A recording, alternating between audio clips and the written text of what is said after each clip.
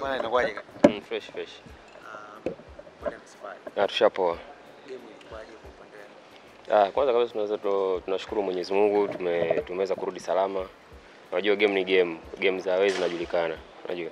Kwa hiyo tulijitahidi kadri ya uwezo wetu, lakini eh, niseme bahati haikuwa haikuwa kwetu.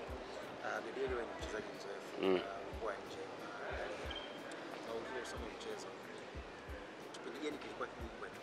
Ah, mi nafikiri kipindi cha pili kilikuwa kigumu kwetu kwa sababu walikuja kwa sababu tayari wale walishapoteza mchezo wa kwanza. Kwa hiyo walikuwa yani muda wote wana, wanashambulia. Umeona? Kwa hiyo kipindi cha pili ndio kipindi ambacho kilikuwa kigumu kwetu na kipindi ambacho tulitakiwa sisi yani tutulize akili yetu kwa sababu tayari tulikuwa tunaongoza moja. Kwa hiyo mi nafikiri ndio muda ambao ulikuwepo tayari tungetakiwa tutulize akili yetu tujue nini ambacho tunafanya, lakini kwa sababu si wenyewe pia tulikuwa tunataka tena ushindi.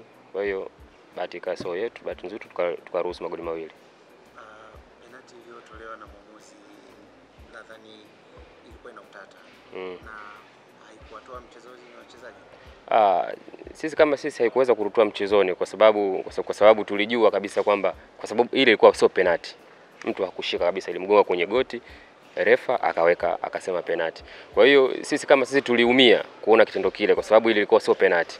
Kwa hiyo tukawa tena hatuna jinsi, kwa sababu maamuzi yameshatolewa tayari, yameshatolewa. Kwa hiyo akili yetu ikabidi rudi mchezoni, tujue nini ambacho tunafanya. Ah, mwezi wa nane tutashuka tena kucheza na Tunisia. Ah, nafasi yetu ikoje? Ah, mimi nafikiri nafasi bado tunayo, nafasi bado tunayo kwa sababu bado tuna, tuna, tuna, tuna mechi nyingine tena nyumbani. Kwa hiyo kwa sababu kama tunavyojua nyumbani pale hatoki mtu, kwa hiyo nafikiri itakuwa nafasi nzuri sana sisi ya kuweza kupita. Mimi naamini kabisa katika kundi letu sisi tuna uwezo mzuri sana wa kupita. Asante sana.